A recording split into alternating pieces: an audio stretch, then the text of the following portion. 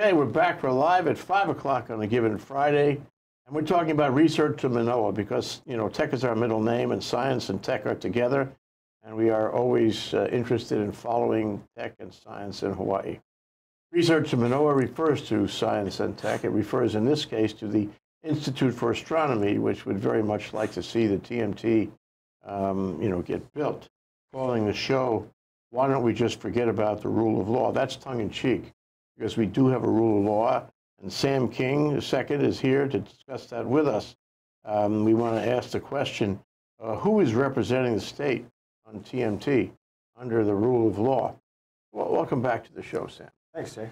Good to be back. You are the um, coordinator of IMUA TMT, the rally.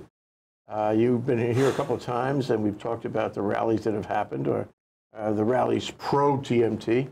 Uh, can you tell me what's happened since our last discussion two weeks ago?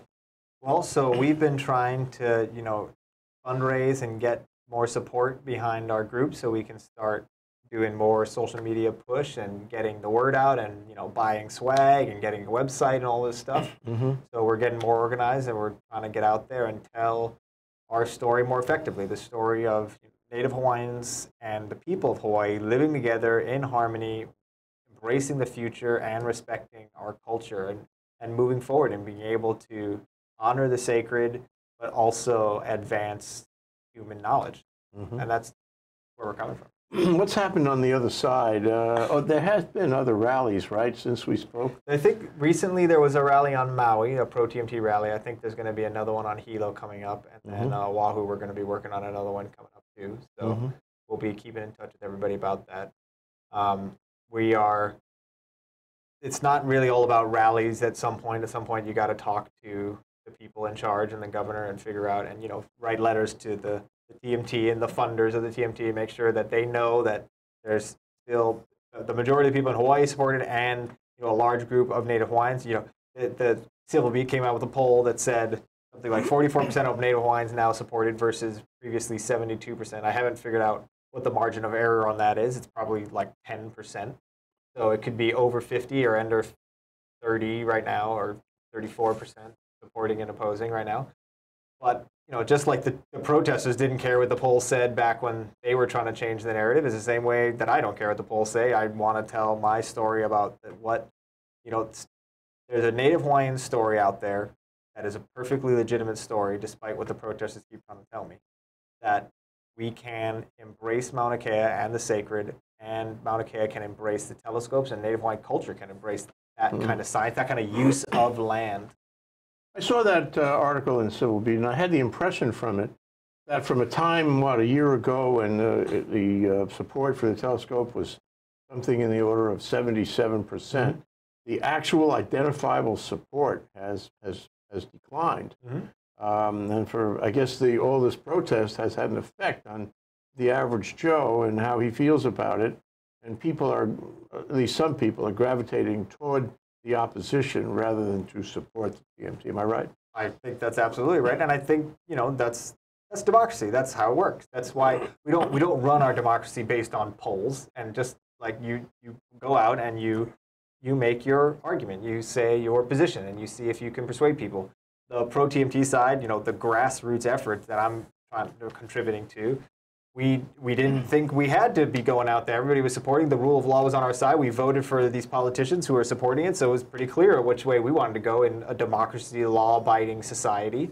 And then, meanwhile, the protesters knew that for two years they they I guess I'm assuming they knew they were going to lose or thought they were going to lose in the contested case hearing because there's been this project is so good and has done so much to accommodate so many things and has done so many things right that there would be no reason for somebody who's actually looking at the evidence to rule against it. Yeah, I want to talk about in, that in, in some detail. That's really the core point of our show today. Right, but just to say, the protests have been doing this for two years. They've been organizing for two years to persuade public opinion, and it worked. The, the governor, instead of just arresting everybody and getting moving, he let them have their space, and now they've been using it as a platform and bringing the rock. You know, they get the they got all the people there doing hula dances, and they can you know play the cultural card, and the rock will come down to get pictures, and Jason Momoa will come down to get pictures feeds their Instagram, gets you know the word out about whatever movies they're doing and that kind of stuff. So if people showed up, that gets you attention.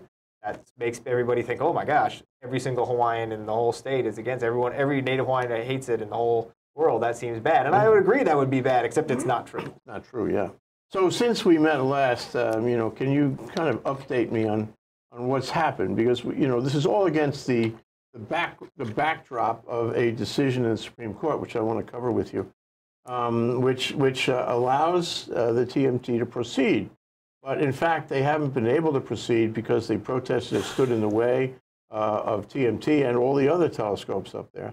Um, and what you know what has happened? I, I recall hearing that the governor has what extended the period for construction. I'm not sure if that's a good thing or not. Um, and um, you have various people, including the lieutenant governor, who weighed in against the project. Uh, so what, what's happened? What's well, the I hadn't? I hadn't heard that the governor, lieutenant governor, come in against the project. I know he had come out against the declaration of emergency Ah, at the time. it? I'm not sure. He all never right. came out against the project, as far as I know.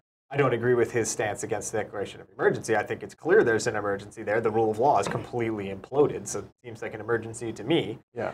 And the governor's stance is that there's a threat to life if the construction equipment starts coming and the rhetoric coming out of the protesters. And I think that's completely legitimate also. I think he should, it, when, when it's time to move forward, he should definitely declare a state of emergency.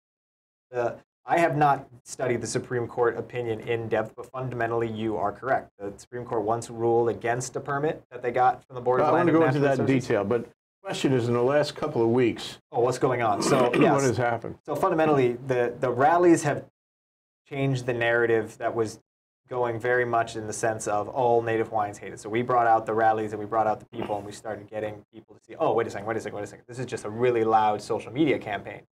So now everyone's been writing op-eds and they've been getting involved. They realize this is really important. So we're kind of at a, at a stasis point. There were the hurricanes, so everyone was kind of backing off.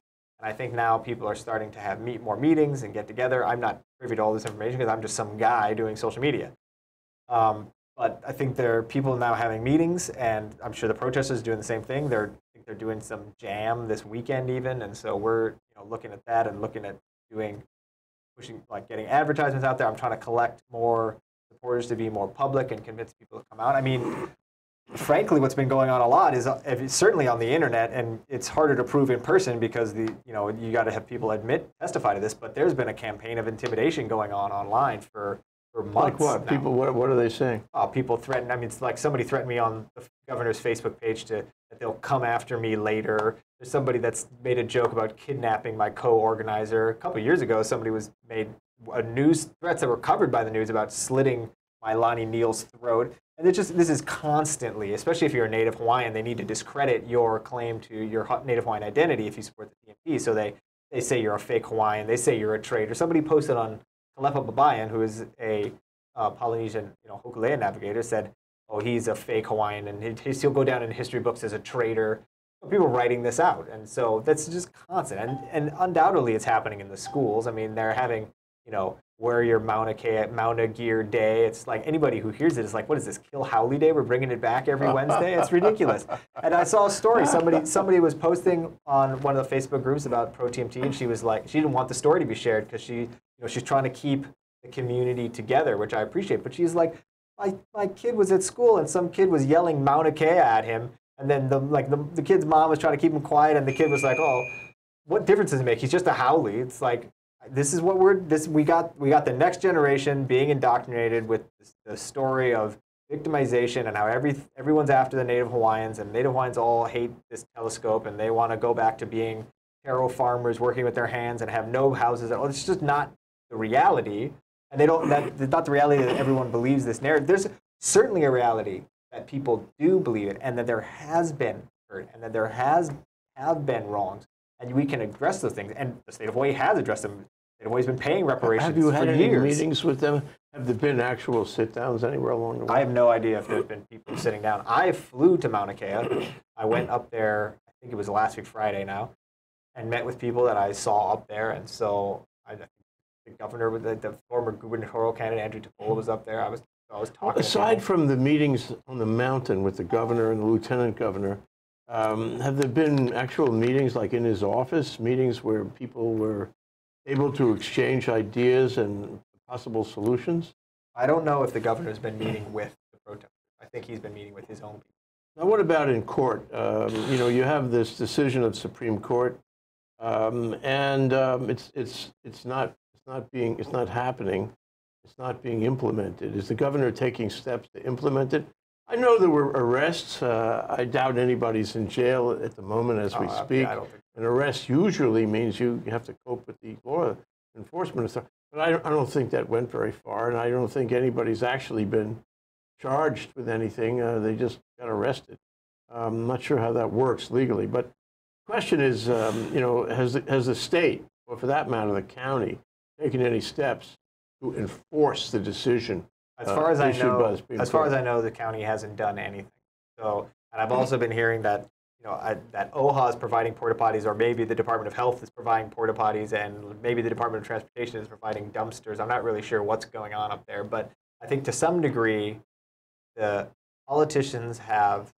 I mean, like Mayor Kim went and met with them. I think what they're saying, they want to. They're. I think they're they're taking the situation seriously. They want to. They're looking at the situation and being, look, we want you guys to have your voice. We want you guys to discuss. We understand that there is the rule of law, but the rule of law is all about enforcement. And there's an extent to which that we give our prosecutors, police, executive branch leeway to enforce law. And I think there's a reason courts do that because, you know, and the legal system allows for that because they admit that there's a political dimension to life because that's reality. And so the legal system can handle that kind of thing. They can say, look, okay, we understand there's this political dimension, so we want to play for a balance. But at some point, the governor and the mayor have to move forward. And I think it, it, it's, it's complicated because of the land ownership up there. I think it's all, a lot of Department of Homeland Homeland's land. So the Department of Homeland Homelands needs to issue a statement of some kind saying, you know, you're trespassing on the land, please move. If they don't move, then they can be arrested for trespassing. They can be arrested for blocking the road or maybe obstruction. Uh, maybe zoning laws, permitting laws, that kind of thing. So you, you pick, pick your law that they're violating, which there's a couple, and then you, you move forward and you have to enforce it. And so far as I know, no one has done any of that. Well, from a legal point of view, well, let's go. Let's go to the beginning. So these guys, the TMT consortium, came to town ten, maybe fifteen years ago. I remember we we had them speak at the um, at the Hawaii Venture Capital Association because it was a big deal and involved billions of dollars. And, and they said they were going to dot every I, cross every T, whatever it took. Um, and of course, they met, you know, objection and they met bureaucracy. They met a lot of bureaucracy. And they went on and uh, litigation, maybe the wrong word, regulatory process that went on for years. They wound up in the Supreme Court once or twice, maybe? I think it's twice. Twice. Okay, can you fill me So- in on what happened there? So I don't know every single step, but fundamentally what they needed to get was a conservation district use permit. So they filed a conservation conservation district use application. I believe it went to the Board of Land and Natural Resources, which had to approve it. The first time around, what happened is the board voted on the application first and then had a contested case hearing. And the Supreme Court then said that has the appearance of unfairness. Not that it was unfair, it just has the appearance of unfairness. And therefore, you have to go do it again. And what the Supreme Court was objecting to, and th- what, they, what they were objecting to was you making a decision and then having a contested a case hearing to sequence to, thing. to talk about it. But the reason the BLNR does that, and the, their lawyers were saying this is a perfectly acceptable process, is because they were saying, look, we haven't done anything yet. If we don't make a decision, then there's no hearing to contest, right? There's no reason for us to have a contested case hearing because no rights have been violated, nothing has happened, which is actually a pretty reasonable position to take. But the Supreme Court disagreed. So now the Supreme Court says, now you must have a basically a trial with absolutely no rules of evidence, and you just have everybody come and give their opinion to this board, which is now a mini legislature that will approve the project. And so the second time around, that's what they had to do. They brought in a Riki May Amano, and they had this retired judge, and she heard all the evidence, and she brought in all these motions, and everybody, all the protesters got to bring in all these people. I think there were like 27 parties participating. Whale was one. Very long testimony, I think days it was and three days. months, like a oh, month's worth of testimony, but it took three months total. And then at the end, each side submits their proposed findings of fact and conclusions of law. The hearing officer, Judge Amano, took them, changed it up to what she, her conclusion was that during that process, also, they went on a site visit. They went to Mauna Kea to, look at the site, actually where it was. So It's a, it's a very informative document, like, and I've said it before. Everyone should just Google findings of fact and conclusions of law 30 meter telescope. I think it was 2017 the decision came down. Just read it. They they It took a long time. Uh, the first two pages, an excellent summary of the whole situation. They lay it out, and the judge was fundamentally saying there, there's no pollution. It's a zero waste facility. They're paying a ton of money. There's no cultural impact to identified historic sites. There are people that consider the entire mountain sacred, but in the end, you do not have a religious veto over property that is public. And so, therefore, we're moving forward with the project. It is a good project. It is, it is mitigated and accommodated all interests as more than anyone ever has done on Mauna Kea, except to not do anything. And then she issued her opinion. It took Board of- years. It took took years. The Board of Land and Natural Resources then voted on to whether or not to accept the findings of fact conclusion of the law. I think there were maybe two dissenters out of seven or something, and then then that was appealed. It went straight to the Supreme Court, I believe, and then the Supreme Court ruled in favor of the TMT. And so that's why now they can move forward. The last time the protesters were holding out for the Supreme Court, the Supreme What Court was the second appeal about? What was the second appeal? same thing.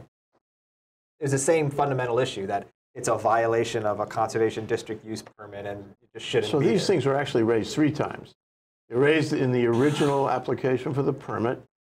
Then they were raised in Four the Ricky times. Mount four times. So original permit, original Supreme Court decision, second permit, second Supreme Court decision. Okay. Yeah. And finally, the Supreme Court ruled, I guess it was final of all these issues, the Supreme Court ruled that yes, the permit had been or could be validly granted. And, um, And it's a valid the- use of the space and Valid use, legal. and the uh, TMT consortium was entitled to go forward.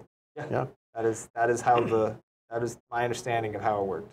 And so, and the respondents in all of this were what? The consortium had to be involved. The uh, Uni- University of Hawaii had to be involved. Who else? Anybody else? Uh, I think the other side that was pro TMT was uh, Pueo, so preserving unique educational opportunities is a group of Native that you know they're they're interested in education primarily, but they in, they were they in, they put themselves into the case in the contested case hearing and the Supreme Court to provide the Native Hawaiian story that says no, actually this is acceptable, this is a good thing. So we So everybody had a voice. So everybody had a voice in that process, and there were far more individual protesters that joined in.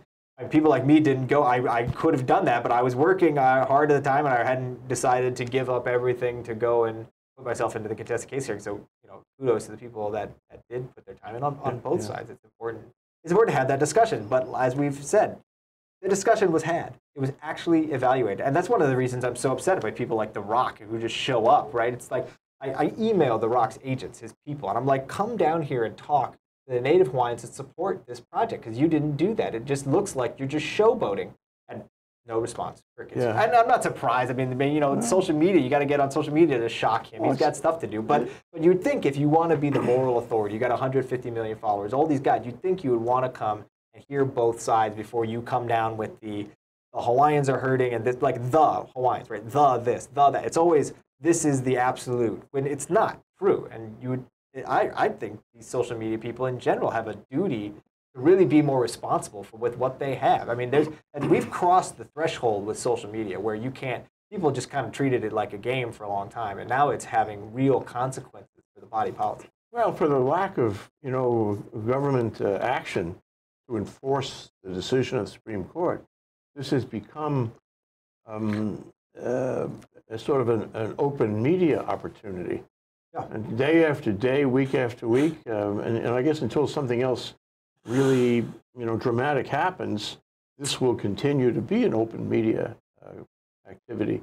And, and so instead of this being resolved in the way controversy, controversies are resolved in, in this state and the country, this is being resolved in the, in the media and um, on the streets, so to speak.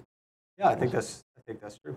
Yeah. So, uh, you know, what does this mean, though? Because it's got all kinds of implications when you have a, a final. It must have cost the parties millions to spend 10, maybe 15 years A lot of of time energy. applying and litigating and applying and litigating and arbitrating and litigating. so after all of that, we, we really don't have a result that people respect. Uh, this is troublesome because it has implications beyond TMT, don't you think?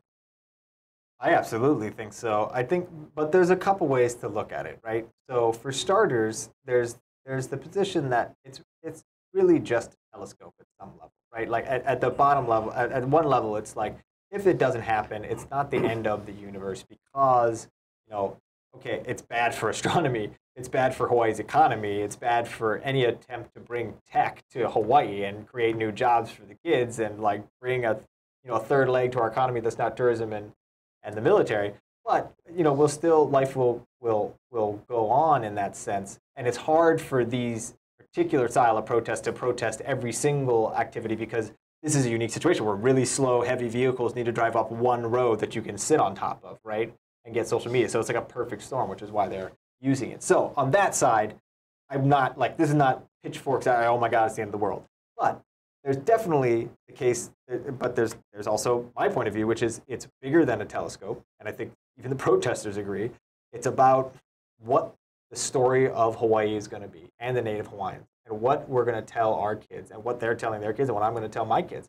And it's about you know, do you want to just be about oh everybody? You want to do research day after day about how everyone's taken everything from you and from your family, and everything is bad all the time which may well be the case for some small set of people, but do you want it to be extrapolated to absolutely everybody that shares your race? Or do you want to say, look, the past is the past. We can address the wrongs that did happen. We're paying reparations through OHA and the Department of Hawaiian Homelands. And we can embrace uh, the future and technology, especially projects that are actually paying money that will go to OHA and you know, ma management of Mauna Kea.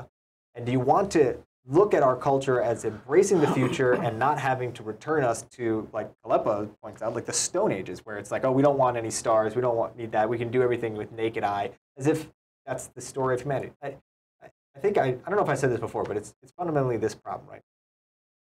If you want to, I think some of the protesters, maybe not all of them, I don't know, but I think some of them have said this and they believe that we don't and you can see it on social media they want to go back to a time where you can just you know farm anything with your hand. You don't need to have telescopes all this technology. We, you can have stem like they make a joke about oh we don't need stem we have taro stem right as if that's the point. But it's like the moment one of the kids you have who's farming in a lo'i or any like doing any sort of manual labor the moment that person wants to use a machine to do the work faster you're going to get right back here you might you might push us back for a hundred years of research, but you're going to end up right back in this position because that's how humanity works. That's how life works. We advance forward. There's, I think it's bigger than just this single group. I think there's a movement across the whole world of saying, no, we don't want any advancement anymore. We don't, we don't want property rights. We want the government to own things and then control everything and not move forward at all. We want to be an ag agricultural society and you know live in beautiful bucolic settings, but it's all fantasy world because at some point, if you just have farms and no industry, you can't protect yourself against the people that mm. could care less about your utopian vision. Yeah, one day you're going to get a cavity in your tooth.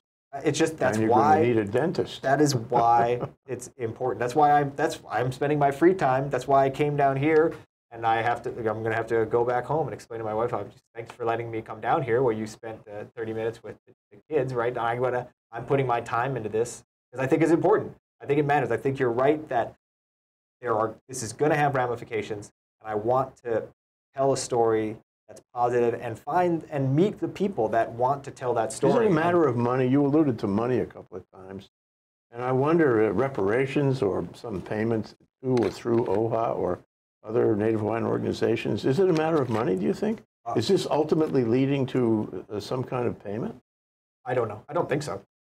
I think some of the protesters, uh, the leadership, I, I actually have no idea what their secret motives are. It seems to me, if they're public statements, it's absolutely not about the money. It's about the sacredness of the mountain, and it's about you know it's violating the culture. I think, I think I've I've heard, and I think it's a perfectly reasonable analysis that there's a power to say no that's at stake here. People want to be able to say no mm. to something, and mm. they feel like they can never say no. I mean, I think that's incorrect analysis of the situation. I think you mm-hmm. can say no, and I think you can have a discussion. It's just you don't get to just say no, and then everyone has to listen to you just because you said no, right? That's the whole point of the legal system. You it's, know, this, the state of Hawaii has been trying to develop a tech industry since, since John Burns, since statehood. one governor after the other. I mean, even the Kingdom of Hawaii was trying to do it. Yeah, that's true. Kalakaua wanted that. He was he was very advanced and enlightened about science and technology, but we just never seem to get there. We don't have a tech industry to speak of now, um, and we don't have any real political will to develop the tech industry. And this is a this is a bad blow to that. I think. I It's agree. also a bad blow to resilience of the economy because if tourism stopped for some reason and we had no other leg of the stool, um, like tech, you know, what happens then? You know, everybody's got to eat, and I'm afraid uh, we'd be jeopardized. Well, I'm not sure that uh, a lot of the protesters care what happens. To be honest, I think there's a subset of people, and I, and I keep saying subset because I don't know if they all think this. I haven't run a poll of all the protesters, but there's definitely a core group that's out there saying, I, I- my hypothesis would be, and from what I've read and seen from the protesters and, and kind of the people pushing the idea that we don't need development or we don't need all this tech, they just don't care. They don't care if people build houses here. They don't care if people move here. They don't really care if the kids are here. You know, they, they want their amenities that they have, and then everything else can leave. If there's no money, it's like it's like it's kind of like the Brexit syndrome, right? People in Britain now they voted to leave the European. Union. They don't even care about the economic da- Well, damage. It's about the philosophical point. And so, in that sense, they can accuse me of being, you know, greedy and it's all about the money. But I mean, I have two kids, and I'm trying to put them through good school and get them good jobs and have them be, you know, productive members of society. And just for myself, I want, you know, to have a nice house and like live a nice life, and I want my neighbors to have the same opportunities. So money's super important. Having growth, having those opportunities allows for everyone to achieve their dreams. That's So, but the happens, idea. it's a kind of a one-way street because if you go down the street and you and you you know you stop this project, uh, it's not like you can turn it on again. Hawaii is getting a black eye among the capital interests on the mainland, on Wall Street, elsewhere. All these consortiums uh, involved, uh, you know, countries and global companies and universities everywhere. And if they get turned off and don't come back, that's permanent, or at least for a lifetime. And Yeah. that's a great concern. And you know, I don't know if you've heard anything about this, but but there there's discussion about whether the members of this consortium will continue to weather the storm. Uh, they may decide to drop out. If they drop out, TMT is over. And not only TMT is over, but anything like TMT is over for a long time, radioactive for a long time. I agree. I mean, I think that's one of the reasons I've been working to meet people that agree with me, like-minded people that want to tell a positive story of Hawaii and the Native Hawaiian people and Native Hawaiian culture, and see it as a embrace of science and technology, and and honoring the past and the sacred, and so that the next time this happens, this group of people will be able to say, "Oh, yeah, we've heard this story before, and we've been here before, so we want to be prepared for this kind of thing, so we can tell the story we want to tell the way we want to tell it, and really keep this, keep it moving forward, so we're all together and you know, sharing this Well, kind of certainly thing." I not together now. Well, so let me ask you the last part I'd like to inquire about. If, if, if the governor really meant to do something about this, if the governor meant to enforce the law, the rule of law, I mean, we, we can't just have it out in the street. We have to follow what we decided a long time ago. That is, the courts resolve controversies. How do you do that? How do you how do you advance, uh, implement, enforce the decision that took 10 years to make? I mean, the, the implementation is, is pretty straightforward. I think the governor just needs to you know, close down the road and slowly you know, cut off the supplies and be like, okay, look, we're done here. We're going to move everybody in, start throwing the cars out slowly but surely, and just go down the road. And you know, just don't, just ignore the pressure and the social media pressure. Just ignore it because it's you. And all you need to say is, look, we're enforcing the law. We've talked about this. We've gone over it, and this is how it. This is the correct thing to do. This is So the he right doesn't thing to do. need another court decision. He does not need anything. He doesn't need He any just single do thing. it. He just needs to go do it. Him and the county need to go do it. Okay, all that we know, you and I have talked about this, what, three times? I and think so. Yeah. As well as, uh, you know, in, in the context of the, the rally I attended a few weeks ago. Um, what do you think is going to happen here? What's the reality? I have no idea. Okay, I'm I'm working to get my story out and to get support telling my story and the people that agree with me's story and, the Native Hawaiians that believe in science on Mauna Kea, in astronomy, in tech in Hawaii. I think the more people that come out, the more people that speak in favor of TMT and this future, the easier it'll be for the governor to move forward and enforce the law because he's a politician. He doesn't want to look like a bad guy. You know, it's easier for the social media personalities to back down, which is what they want to be able to do, right? They want to be able to say, look, we stood up and we said this, but it's obvious that, that there's another side to the story and, you know, we can balance and look, we've got you protection and we, you know, they need a way out, right? Diplomacy. So I think the governor can move forward and enforce the law in that way, but the community is going to have to. I think it's one of the things is like you're going to have we're going to have to accept that this will be how it is and enforce the law, and you have to watch. You know, you have to witness them, the people that do be are that are arrested. Know, I, you know, I want to see. I want to make sure that their rights are respected, they're treated fairly and appropriately when the law is enforced. But it needs to be enforced because this is the bottom line.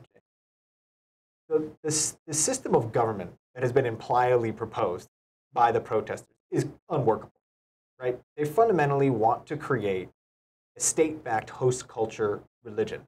And they want that religion to be able to trump all other religions. And it violates fundamental tenets of what makes societies high functioning, which is the separation of church and state and the rule of law. And the moment you have a situation where you can say, oh, no, no, I can sit on this road, and therefore your two Supreme Court decisions and all this process you've done doesn't mean anything, and by the way, the reason I get to do this is because I have a special religion that's better than your religion. The, the society breaks down, and that's mm. why I that's why I live in this country. That's why I like this country, this state, the Constitution that we have that also has the same principles. The Constitution of the United States of America, and just and not even that it's America or that it's white. It's how societies work. That's the best society in my study of history is our society and the way we run things. There's always room for improvement. And that's one of the things I think is good about this. It's a good to have that conversation. It's important that people get energized because this is the time when minds are molded, when the iron is hot, and we should be talking about it. We should be addressing it. And my response is the system of government you're proposing is unworkable. It is not a good idea. I don't want it. I want the rule of law enforced, and I want this project to go forward, not because of this project itself, although that is also a factor, but because that's how the rule of law works. Hmm. All that considered, um, you know, further discussion, negotiation, you know, comparing ideological positions on this. Do you think that the consortium and its members, who have spent a ton of money getting as far as they have, are going to stick around? Because this is going to take a little while at the very least. And they have been patiently, I must say, patiently waiting. Are, I mean, are they going to stick around or, or bail? let me look at it this way, okay? They've been doing this for 10 years. It'd be pretty strange for them to give up when they have all the permits just because there's been a social media flare up. I mean, there's social media flare ups all the time. Everybody calm down, right? On top of that, where are they going to go? They said they could go to the Canary Islands. Everybody's like, oh, yeah, you can just go to the Canary Islands. Except now we got environmentalists in the Canary Islands being like, oh, no, we don't want you here either. So there's nowhere to go, and there's no reason to try and go there because everyone's going to fight to. I don't, I don't know why. It just seems to be the thing to do. It's a great way to get attention. But there's nowhere to go, and like that's the one thing about it, Jay. Like, like you said, right? What we lose is time. I don't think Mauna Kea will ever stop. Mauna Kea is never going to stop being the best place to do science on Earth. Maybe if you get a space elevator or something ridiculous, you can put all your telescopes in space. But that's so expensive and so hard, and it's not necessarily better. It's not better. That's why yeah. we're doing it in Mauna Kea. Yeah. So there's no reason for the consortium to leave. You know, there's only the social media pressure and that story. But if they leave, then they're going to have to deal with it somewhere else. And you still want to do the science on Mauna Kea because it's still the best place. So, and the technology is not, you know, you can upgrade the technology and put better technology in the mm-hmm. telescope, but eventually it's like, would, if you leave now, you got to wait another, you got to do it all over again. Yep. So what's the point? You might as well just stay and hold out because they have every right okay. to stay and hold out. And the community is now realizing that you know the, the chamber of commerce came out with an op-ed the business community came out and said like look we have to enforce the rule of law everyone you know everyone's waking up and being like hold on hold on hold on we got it all the millennials are on social media and that's what the, one of the things the poll showed right and civil beat actually had an interesting point about this it was like older people are in favor of the telescope and younger people are, are against it yeah. or, or kind of on balance in some way and that's probably i think it's only even native hawaiians in particular i'm not sure even everyone under like 30 or whatever are against it. But the point is that social media is big and it's anti. But then if you read like op-eds and people where they have to like sit down and really think and it's not just image and flash and they got to put their thoughts out, everyone reading the newspaper and doing that is like, oh, this is clearly a good idea. I got it. Mm-hmm. So there's a generational divide there. There's a news media divide there. There's a way you get it. I think the more we push, you know, I'm, I'm working on getting more message out on social media, talking to people. I think you just patiently, you know, you have the conversation. And, and we should, we should come back. We should come back here and have a further discussion on it, Sam. Absolutely. Thank you for coming down today. Sam King, Samuel Wilder King II. Jay Fidell. Co-coordinator, co-organizer of the, the Imua TMT. Thank you so much. Thank you, sir.